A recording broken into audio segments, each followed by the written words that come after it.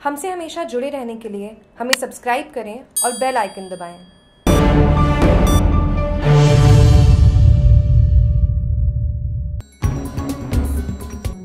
बाड़मेर में medical association की 24 घंटे की हड़ताल के चलते शुक्रवार को मुख्यमंत्री निशुल्क स्टोर पर दवाइयों के अभाव में स्वास्थ्य व्यवस्थाएँ चरमरा गई है मरीज़ सहित मरीजों के परिजन दवाइयों के लिए दर बदर भटकने को मजबूर है अस्पताल में स्वास्थ्य जाँच के बाद दवाइयाँ खरीदने में मरीजों को काफ़ी परेशानियों का सामना करना पड़ रहा है।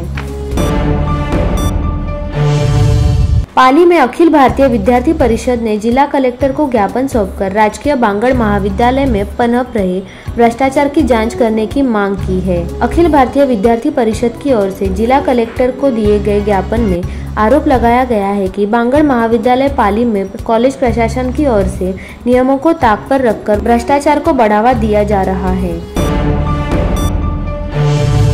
पाली में नायगांव और ट्रांसपोर्ट नगर से आए लोगों ने विधायक ज्ञानचंद पारक के साथ अतिरिक्त पुलिस अधीक्षक को ज्ञापन सौंपकर ट्रांसपोर्ट नगर थाने में तैनात एक हेड कांस्टेबल भ्रष्टाचार को बढ़ावा देने की बात कहकर हटाने की मांग की है। देखो जागरूक, बनो जागरूक।